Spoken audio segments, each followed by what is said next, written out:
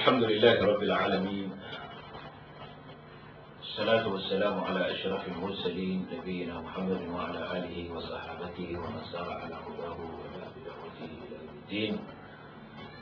أما بعد فإن أصدق الحديث كتاب الله وخير الهدي هدي محمد صلى الله عليه وآله وسلم.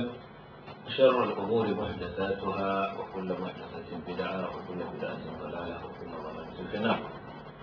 Bayan haka yan uwa masu kallon mu da sauraron mu a wannan lokaci assalamu alaikum wa rahmatullahi wa barakatuh.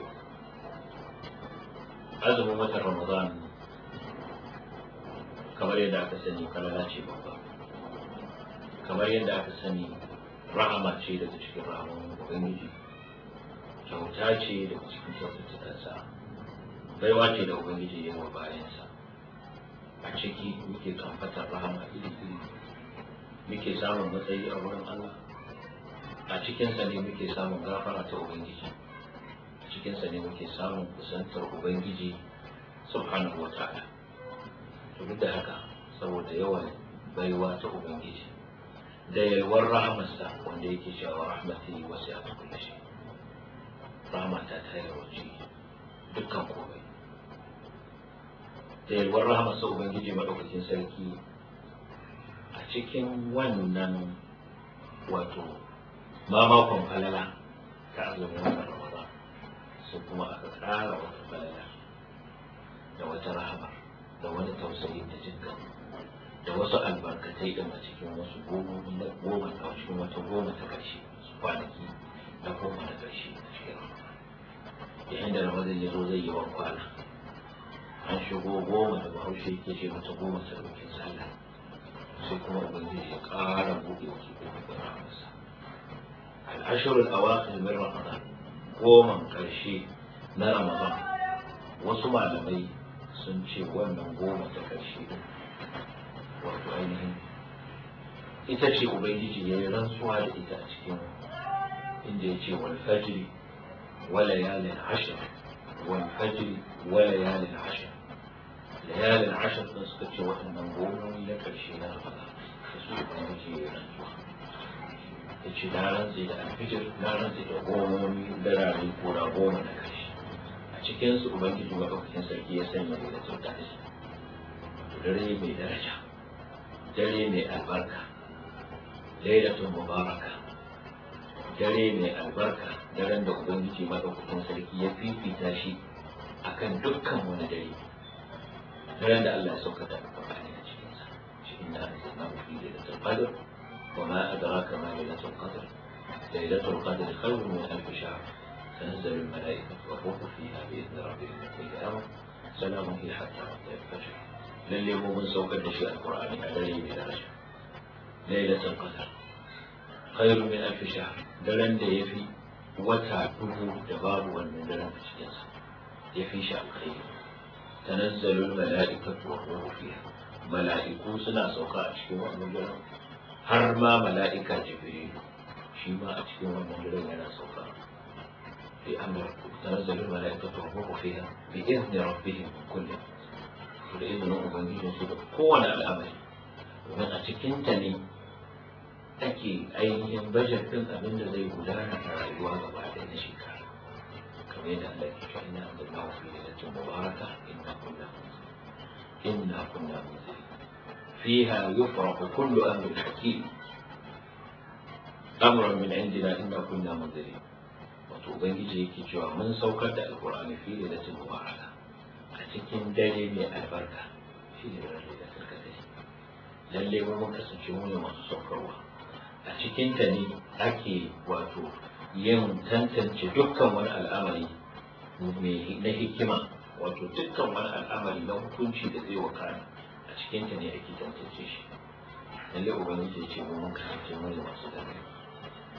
To a wannan dare ubangiji maɗaukakin sarki wannan dare ya sanya shi a cikin waɗannan goma wato ta ƙarshe ta ramadan. Shi ya sa ma'aiki sallallahu alaihi wasallam da kwaɗaitar da al'ummarsa da cewa idan wannan goma ta ƙarshe ta ramadan ta zo ko su tashi su tsage da su tashi su ga cewa wannan dare bai zo ya wuce a iska ba tare da sun more shi ba.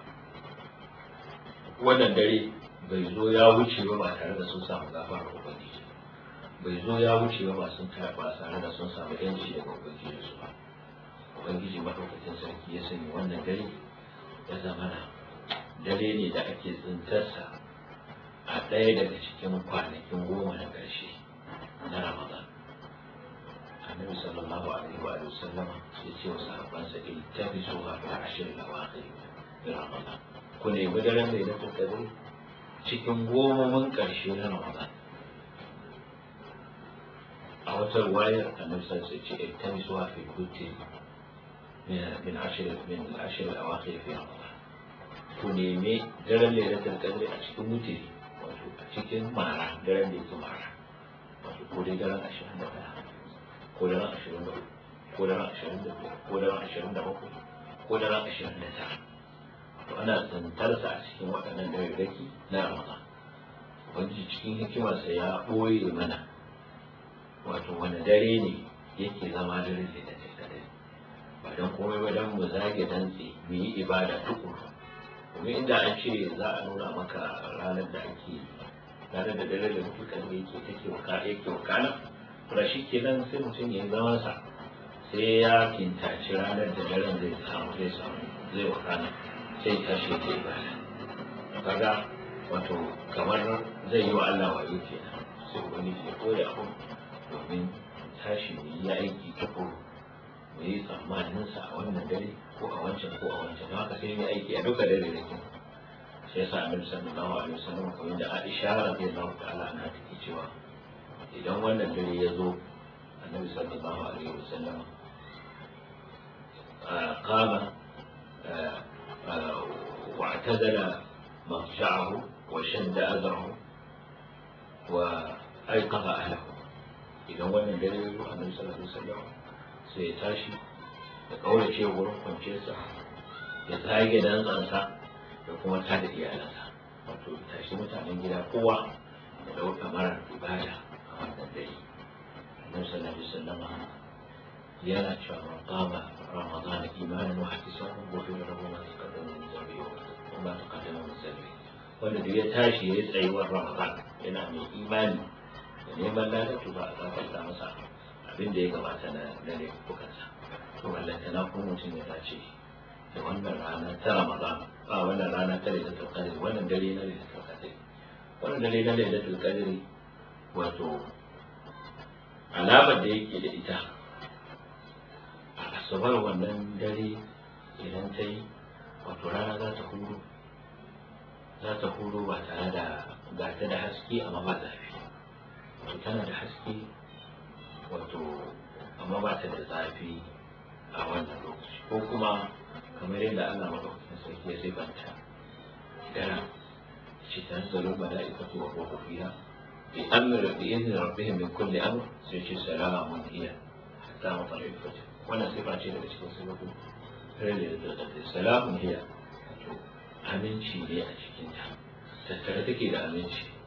Wato mutum zai samu salamatu sadr salamatu al-batin. Wato salamatu al-a'dha mutum zai ji cewa ya samu kwanciyar hankali. Zuciyar shi ta kwanta. Babu bagawa babu tashin hankali babu bakin ciki a zuciyarsa. Alama ce ta wannan gari. Sannan da sabon zai ga rana ga ta nan ta fito kar amma babu haske sosai. La shu'ala. To ba haske sosai tare da ita. Wani duk alama ce ta ke nuna cewa wannan dare ya wakana duk wanda ya tsaya a wannan dare ya dace da shi. Aisha radiyallahu ta'ala anha ta tambayi ma'aiki sallallahu alaihi wa sallam ya rasulullah in na dace da wannan dare mai zan yi? Wace addu'a zan yi? Ma'aiki sallallahu alaihi wa sallam ya ce da ita kice Allahumma innaka afuwun tuhibbul afwa fa'fu anni. Allahumma innaka afuwun tuhibbul afwa fa'fu anni. Ya ubangiji kai mai afuwa ne. Kana son afuwa. Don haka afuwa. Wato kaga a nan annabi sallallahu alaihi wasallam ya nuna mata babban abin da mutum zai yi ya more wa wannan dare shi ne ba afuwa wajen ubangiji ya nemi rangwame da yafiya. Kaga annabi sallallahu alaihi wasallam bai ce da ita sai roki Allah ya baki duniya ba ko ya baki dukiya ko ya baki sarauta ko ya baki jama'a ko ki zama wani abu. A'a sai ya nuna mata ta roƙi afuwa ta nemi rangwame a wajen ubangiji to wannan shi ne abin da ya kamata ɗan adam ya sa a zuciyarsa idan ya dace da wannan rana zai nemi gafara zai nemi afuwa to haka mu dace wajen neman afuwa yayin da muka tsaya a cikin wannan dare muna sallah muna ibada muna karatun alƙur'ani dukkan abin da ya sauwaka a wannan dare ya halatta ka yi shi. Wanda yake na ibada kana iya tsayuwar dare ka raya shi da salloli kana iya raya wannan dare da karatun alƙur'ani kana iya raya wannan dare da tasbihi da zikiri da hamdala da salati ga annabi sallallahu ta'ala alaihi wa sallam. Duk abin da yake ibada ne da za a kusanci Allah da shi kana iya yin shi a wannan dare. Dare ne mai albarka dare ne mai daraja dare ne mai martaba dare ne wanda Allah madaukakin sarki ya zaba ya kinsa shi a cikin waɗannan kwanaki. Dan bayansa su ainihin nace ko kuma su samu kusanci zuwa gare shi. To haka waɗannan al'ashirul awakhir an shar'anta mana tashin yi wannan fafutuka kamar yadda aka shar'anta mana yin itikafi a cikin wannan ashirul awakhir annabi sallallahu alaihi wasallam ya kasance yana itikafi a ashirul awakhir da haka annabi sallallahu alaihi wasallama yana shiga a cikin wannan lokaci har zuwa ƙarshen azumi. Ba don komai ba don mu zama kusa ubangiji. Ƙara da zuntar masallaci. Don haka yan uwa musulmi kada mu bari wani darurruka su zo har su wuce ba tare da mun more su ba ba tare da mun fa'idantu da su ba. Allah maɗaukakin sarki ya karɓi ibadan ya karɓi azumin mu ya karɓi kiyamun daidaitun mu ya karɓi karatun Qur'anin da muka yi ya karɓi sadaka da muka yi ya karɓi istighfari da salatin Annabi sallallahu alaihi wa wasallam da muka yi a cikin waɗannan kwanaki. Allah maɗaukakin sarki ya samu dace. Allah ya ba mu gidan aljanna. Allah ya tsare mu da shiga wuta. والصلاة والسلام على أشرف المرسلين نبينا محمد وعلى اله وصحبه أجمعين. السلام عليكم ورحمة الله وبركاته.